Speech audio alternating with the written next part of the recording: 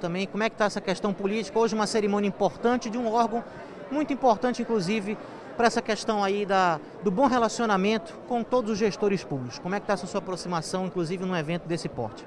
É verdade, os discursos foram muito nessa linha, né? Se nós não nos unirmos, nós não venceremos o grande desafio que é o Amazonas, né?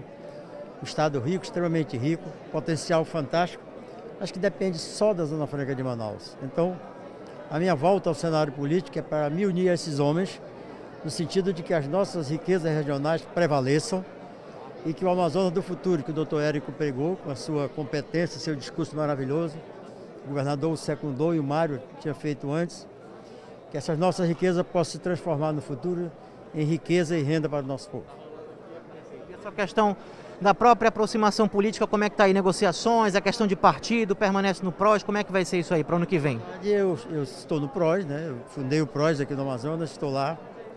É, estou vendo aí os, as, os, os movimentos que estão sendo feitos na política e espero que a gente possa somar com alguém que veja a matriz econômica e ambiental como futuro para o Estado.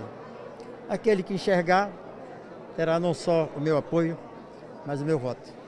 Doutor, outra coisa, as especulações aí ficam nessa questão, se o senhor vem para governo, se o senhor vem para deputado estadual, se o senhor vem para federal, como é que vai ser?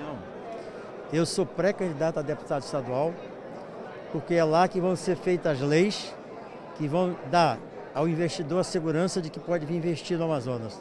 Então eu quero estar presente com os demais 23 deputados estaduais para juntos construirmos essas leis. Então